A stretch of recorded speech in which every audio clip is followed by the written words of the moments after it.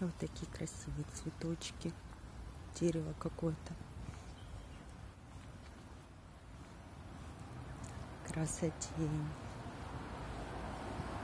Людей все меньше.